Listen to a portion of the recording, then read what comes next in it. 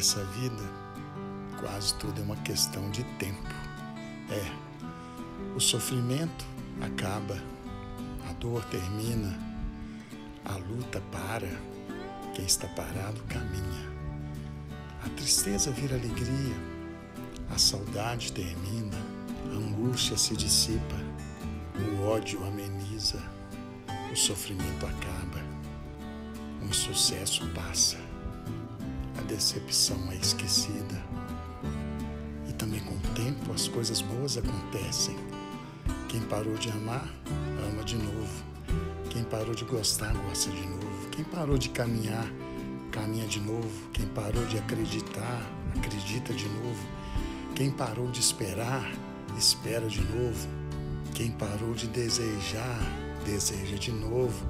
Quem parou de se animar, se anima de novo.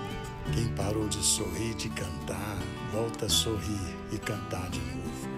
Tudo depende do tempo, do quanto entendemos o poder que o tempo tem para mudar as coisas.